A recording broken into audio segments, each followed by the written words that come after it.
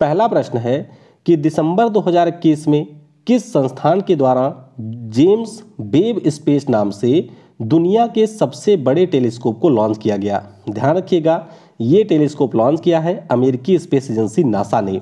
किसने लॉन्च किया? नासा ने लॉन्च किया है। तो ऑप्शन यहाँ पर बी हो जाएगा, करेक्ट।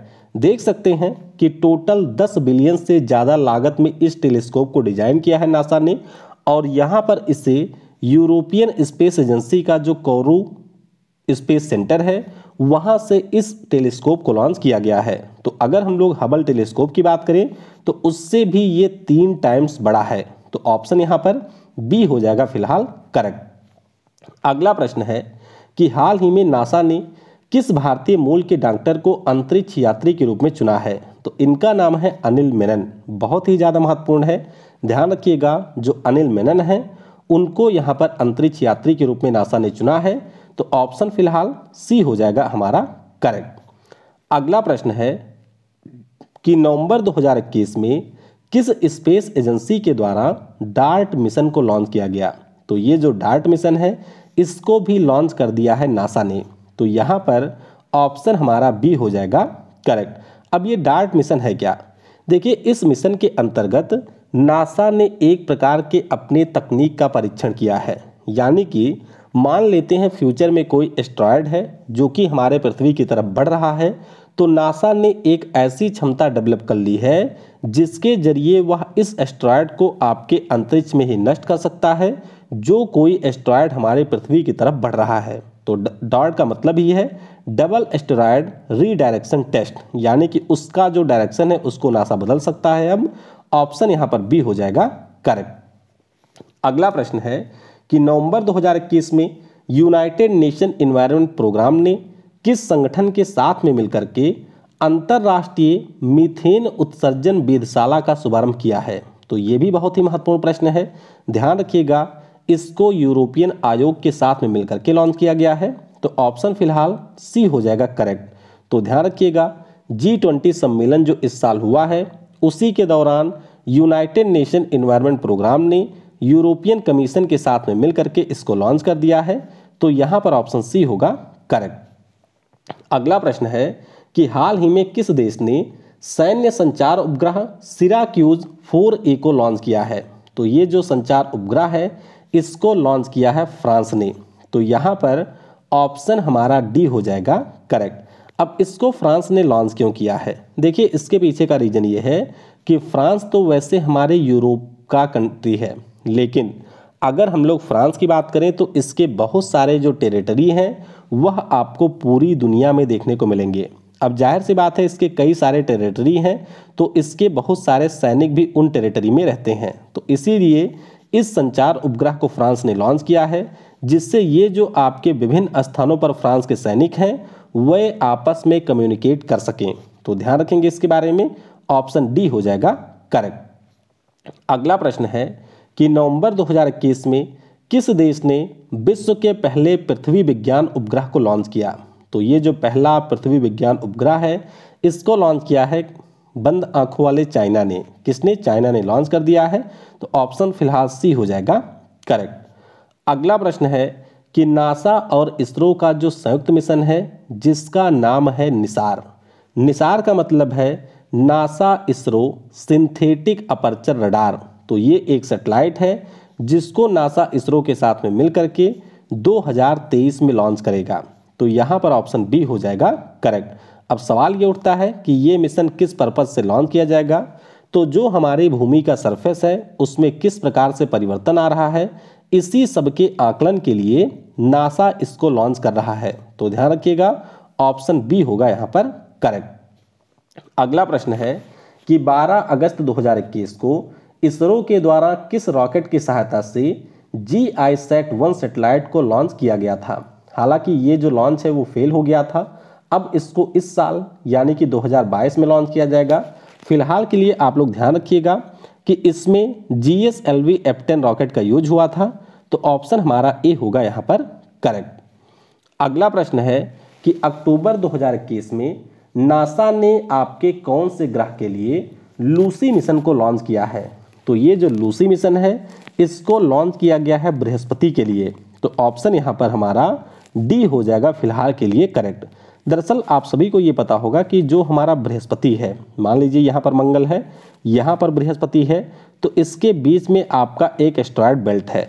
एस्ट्रॉयड बेल्ट है तो ज़ाहिर सी बात है इसमें बहुत सारे हमारे क्षुद्र ग्रह हैं तो उन्हीं में से आठ क्षुद्र ग्रहों के अध्ययन के लिए नासा ने आपके लूसी मिशन को लॉन्च कर दिया है। तो ऑप्शन डी होगा फ़िलहाल करेक्ट अगला प्रश्न है कि अक्टूबर 2021 में किस देश ने अपने पहले सौर अन्वेषण उपग्रह को लॉन्च किया है। तो ये जो सौर अन्वेषण उपग्रह है, इसको लॉन्च किया है चाइना ने। नाम इसका क्या है? तो इसका नाम है जीहे। ज़रूर ध्यान रखिएगा नाम। चाइना ने इसको लॉन्च किया है तो ऑप्शन बी हो जाएगा फ़िलहाल के लिए करेक्ट अगला प्रश्न है कि जून 2021 में किस स्पेस एजेंसी के द्वारा शुक्र ग्रह के लिए जो इन्विजन मिशन है, इसको लॉन्च करने की घोषणा की गई? तो ये जो इन्विजन मिशन है इसको लॉन्च करेगा यूरोपियन स्पेस एजेंसी कौन लॉन्च करेगा? यूरोपियन स्पेस एजेंसी के द्वारा इन्विजन मिशन को लॉन्च किया जाएगा। तो यहाँ पर ऑप्शन बी हो जाएगा फ़िलहाल करेक्ट ये देख सकते हैं एरियन सिक्स रॉकेट का यहाँ पर यूज़ करेगी यूरोपियन स्पेस एजेंसी और नासा के साथ में मिलकर के इसको लॉन्च किया जाएगा। तो यहाँ पर फ़िलहाल बी होगा करेक्ट अगला प्रश्न है कि नासा के द्वारा किस ग्रह के उपग्रह के लिए यूरोपा क्लीपर मिशन को लॉन्च किया जाएगा। तो प्रश्न का उत्तर इसी प्रश्न में छिपा हुआ है। अगर आपको ये पता है कि यूरोपा किसका मून है तो आप इसका उत्तर आसानी से दे सकते हैं। यूरोपा की बात करें तो ये हमारे बृहस्पति ग्रह का एक उपग्रह है और इसी के अध्ययन के लिए नासा के द्वारा यूरोपा क्लीपर मिशन को लॉन्च किया जाएगा। तो ध्यान रखिएगा, ऑप्शन यहाँ पर हमारा डी हो जाएगा करेक्ट। अगला प्रश्न है कि अगस्त 2021 में किस स्पेस एजेंसी के द्वारा यूटेल सेट क्वांटम सेटेलाइट को लॉन्च किया गया? तो ये जो सेटेलाइट है, इसे लॉन्च कर दिया है यूरोपियन स्पेस एजेंसी ने। किसने लॉन्च किया? यूरोपियन स्पेस एजेंसी ने लॉन्च किया है। तो यहाँ पर ऑप्शन डी हो जाएगा करेक्ट। ध्यान रखिएगा, ये पहली विश्व की वाणिज्यिक रीप्रोग्रामेबल सेटेलाइट है। यानी कि यहाँ पर जो सेटेलाइट ये लॉन्च की गई है इसके प्रोग्राम को आपके पृथ्वी से कंट्रोल किया जा सकता है और इसमें परिवर्तन किया जा सकता है यूरोपियन स्पेस एजेंसी के द्वारा। तो ऑप्शन डी हो जाएगा फ़िलहाल करेक्ट। अगला प्रश्न है कि जुलाई 2021 में किस बिलेनियर ने न्यू सेफर्ड रॉकेट एरोप्लेन से स्पेस की यात्रा की है? तो ये जो यात्रा है, ये जेब बेजोस साहब ने किया। ऑप्शन हमारा डी हो जाएगा करेक्ट।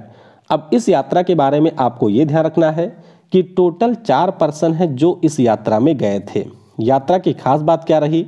तो खास बात यहाँ पर ये रही है कि इसमें जो आपके बैलीफंग गए थे, ये दुनिया के सबसे एजड व्यक्ति बन गए हैं जो कि स्पेस में जा चुके हैं। और इसके अलावा एक इसमें लड़का गया था जिसका नाम ओलिमर डेवन है। ये दुनिया के सबसे कम उम्र के स्पेस यात्री बने हैं। तो दो रिकॉर्ड महत्वपूर्ण बने हैं।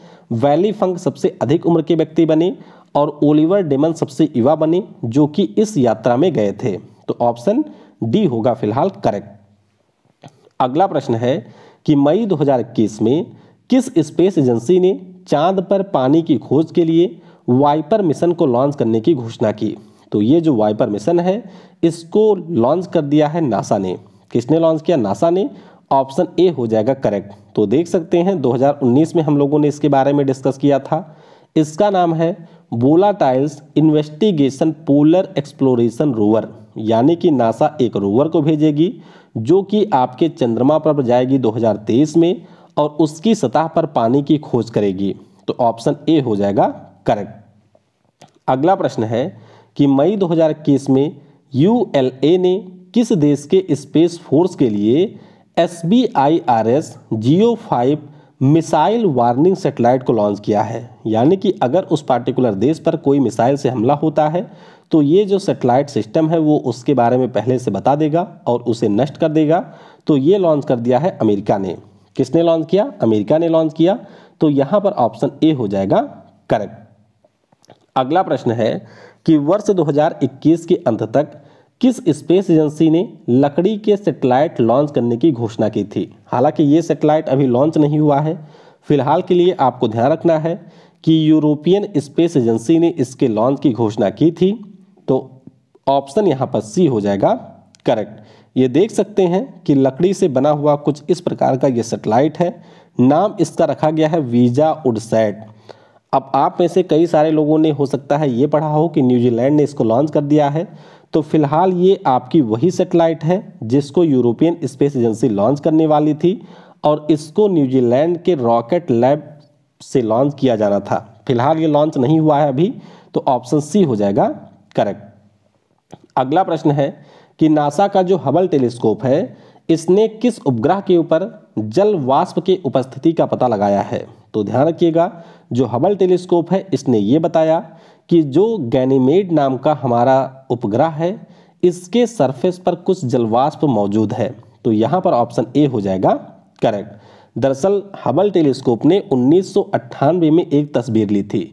और यहाँ पर उस तस्वीर के बारे में जब नासा ने एनालिसिस किया तो उनको पता चला कि बृहस्पति का ये जो चंद्रमा है गैनीमेड, इसके ऊपर आपके वाटर वेपर मौजूद हैं। तो यहाँ पर ऑप्शन ए हो जाएगा करेक्ट अगला प्रश्न है कि नासा के द्वारा कौन से उपग्रह के लिए ड्रैगन फ्लाई मिशन को लॉन्च किया जाएगा?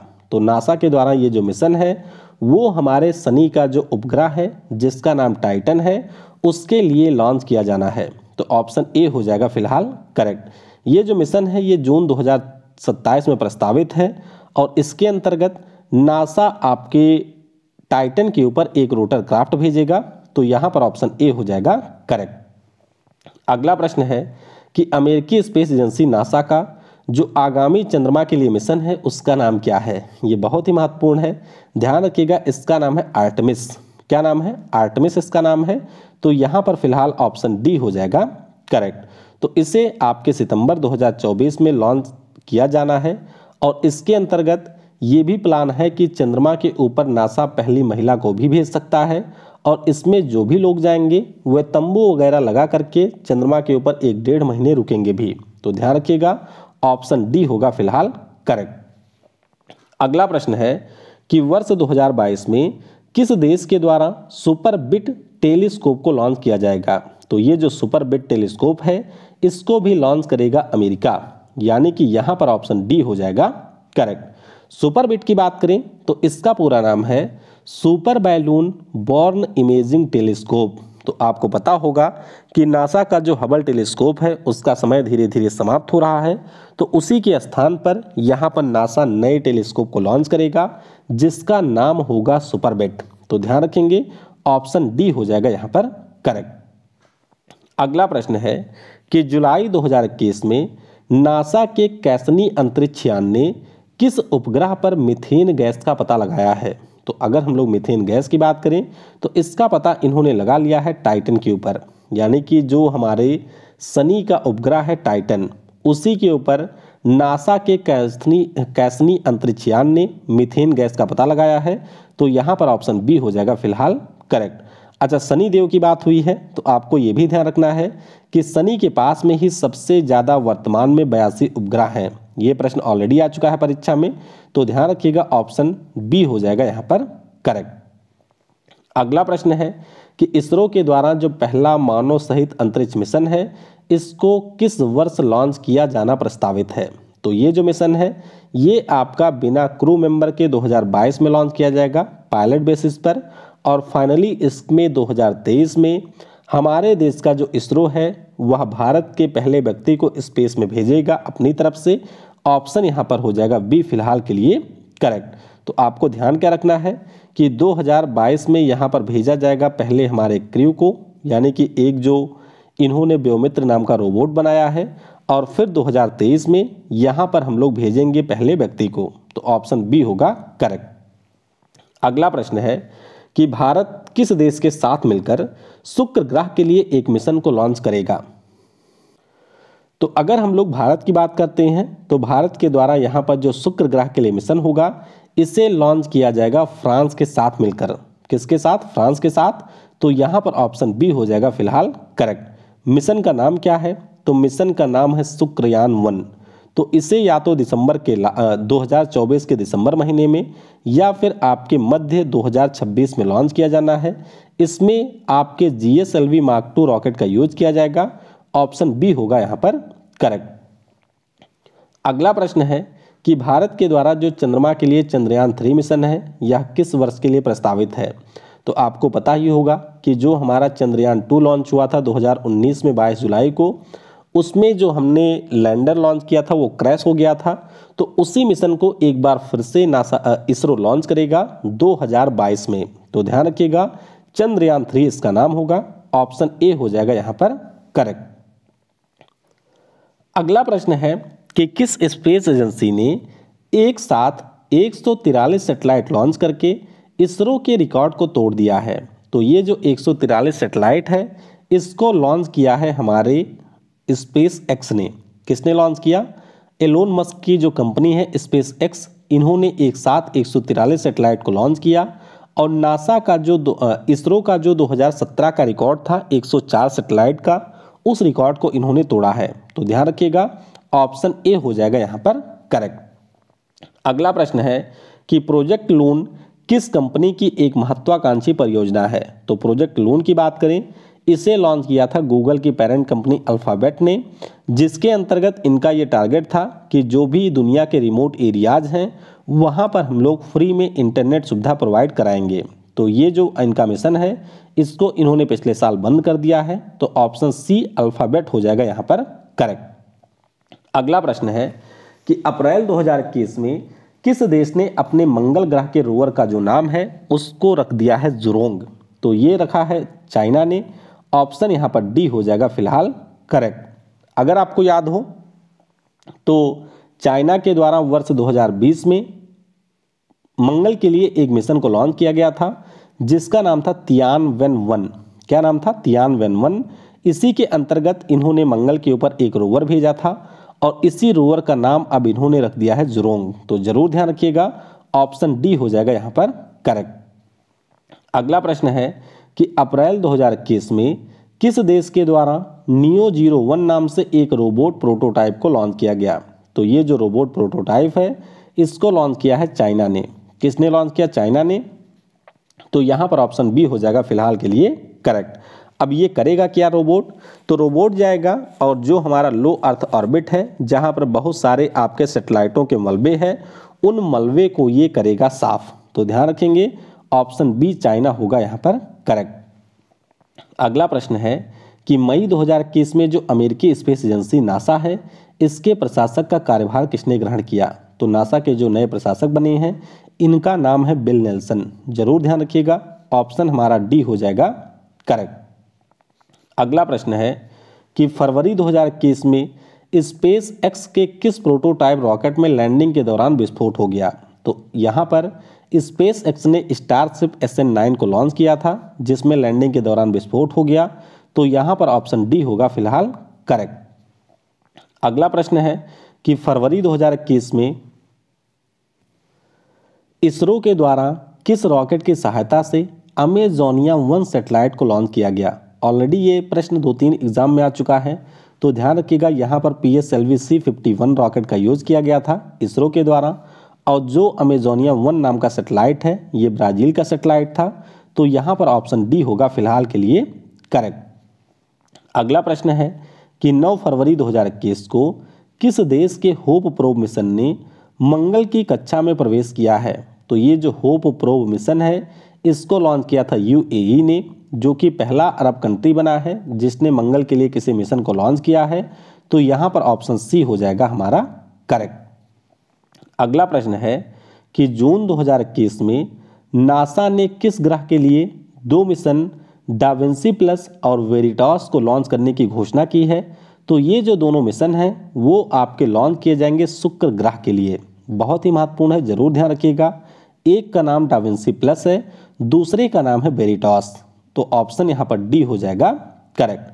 डाविंसी की अगर हम लोग बात करें तो ये मुख्य रूप से आपके शुक्र ग्रह का जो सघन वातावरण है, उसके घटक के साथ साथ किस प्रकार से इसका निर्माण हुआ है, उसके बारे में यहाँ पर पता लगाएगा। उसी प्रकार से अगर हम लोग डाविंसी प्लस की बात करें डाविंसी प्लस बेरिटॉस की बात करते हैं तो जो आपके शुक्र का भूगर्भिक इतिहास रहा है, उसके बारे में पता लगाएगा। तो ज़रूर ध्यान रखिएगा, एक मिशन का नाम है डाविंसी प्लस एक का नाम है बेरिटॉस और दोनों हमारे बीनस प्लानट के लिए लॉन्च किए जाएँगे। अगला प्रश्न है कि जून 2021 में किस स्पेस एजेंसी के द्वारा साइबर टू इंस्ट्रूमेंट को लॉन्च किया जाएगा? तो ये जो साइबर टू है, इसे लॉन्च किया जाएगा नासा के द्वारा। किसके द्वारा? नासा के द्वारा। तो यहाँ पर ऑप्शन ए हो जाएगा फ़िलहाल के लिए करेक्ट। तो देख सकते हैं, ये जो आपके नासा का मिशन है, इसका मुख्य रूप से उद्देश्य यही है कि हमारे ब्रह्मांड में जो तारों की संख्या है, वह कितनी है, उसी के बारे में ये पता लगाएगा। तो नासा ने इसको लॉन्च किया है। ऑप्शन ए हो जाएगा करेक्ट अगला प्रश्न है कि जून 2021 में चीन ने जो आपके सेंजाओ 12 ह्यूमन मिशन को लॉन्च किया था, उसमें इसने कितने एस्ट्रोनॉट को भेजा था स्पेस में? तो ध्यान रखिएगा, इसमें टोटल तीन एस्ट्रोनॉट को भेजा गया था। ऑप्शन यहाँ पर सी हो जाएगा फ़िलहाल करेक्ट तो ये देख सकते हैं, ये तीन लोग हैं। और इनका मुख्य रूप से पर्पज था कि जो चाइना अपने स्पेस स्टेशन का निर्माण कर रहा है, उसके जो कुछ सामान है, उसको इन्होंने असेंबल किया था। तो ऑप्शन यहाँ पर फ़िलहाल सी हो जाएगा हमारा करेक्ट अच्छा साइबर टू तो मैंने आपको बता ही दिया है कि इसे नासा ने लॉन्च किया है तो यहाँ पर ऑप्शन ए हो जाएगा करेक्ट अगला प्रश्न है कि अप्रैल 2021 में किस स्पेस एजेंसी के द्वारा सील्ड्स मिशन को सफलतापूर्वक लॉन्च किया गया। तो ये जो सील्ड्स मिशन है, इसको भी नासा ने ही लॉन्च किया है। ऑप्शन हमारा सी हो जाएगा, करेक्ट। अच्छा सील्ड्स का नाम भी ध्यान रखिएगा। इसका पूरा नाम है spatial heterodyne infant interferometric emission line dynamics spectrometer. तो मुख्य रूप से इसका उद्देश्य है कि जो हमारा इंटरस्टेलर स्पेस है, उसमें किस प्रकार से आपके पार्टिकल में ड्रिफ्ट हो रहा है, उसके बारे में ये पता लगाए। और जो हमारे सन का मैग्नेटिक बबल है, उसके बारे में भी ये पता लगाएगा। तो ऑप्शन सी हो जाएगा करेक्ट आखिरी प्रश्न है कि मई 2021 में किस देश ने cargo spacecraft Tianzhou two को स्पेस में लॉन्च किया? तो नाम से ही आप समझ सकते हैं। इसको लॉन्च कर दिया है चाइना ने। यहाँ पर ऑप्शन ए हो जाएगा फ़िलहाल करेक्ट तो ध्यान रखिएगा, नाम इसका है तियानजाओ टू, और ये आपका एक कार्गो स्पेस क्राफ्ट है। तो यहाँ पर ऑप्शन ए हो जाएगा फ़िलहाल करेक्ट तो इस वीडियो में फ़िलहाल के लिए इतना ही। उम्मीद करते हैं कि यह वीडियो आपको पसंद आया होगा। वीडियो अगर आपको पसंद आया हो तो इसे लाइक करने के साथ शेयर ज़रूर करिएगा। और अगर आपने वीडियो को यहाँ तक देखा है तो नीचे कमेंट में टाइप करिएगा yes I can do it thanks for watching जय हिंद, जय भारत। और सबसे ज़रूरी पढ़ेगा भारत तो बढ़ेगा भारत।